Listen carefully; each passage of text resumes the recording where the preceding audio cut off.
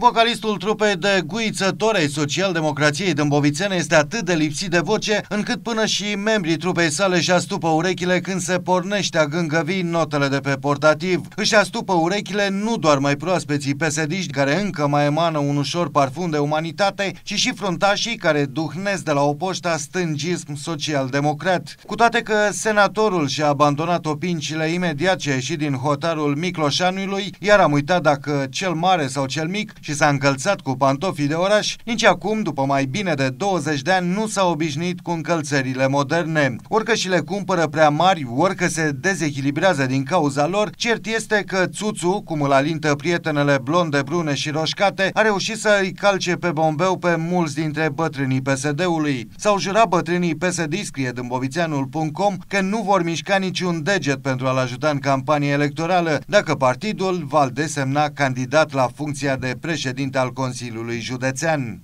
Deși buboiul încă nu s-a spart, iar unitatea PSD rămâne oficial de monolit, la un pahar de vorbă altfel stă treaba. Limbile se dezleagă și nu se face economie de epitete. Adrian Țuțuianu este gratulat cu expresii dintre cele mai puțin măgulitoare. Un descreierat care se crede mare combinator, micul dictator din umbra Marelui Stan, cățelul lui Stan sau groparul partidului. Talpa partidului știe că alegerile nu se câștigă cu lideri de alcov sau cu fil fizon persoani care fac politică din birou luxoase, iar concesiile făcute unui aliat care în Dâmbovița este quasi inexistent, reduce considerabil șansele celor care au sperat să fie recompensați pentru munca în folosul partidului. Deocamdată, cu ajutorul lui Ion Stan, micul mare senator reușește să pozeze în șef peste tarlaua social-democrată, însă în teritoriu se ascut săbile cu care, potrivit unuia dintre nemulțumiți, îi se va tăia din nas că prea și l-a luat la purtare.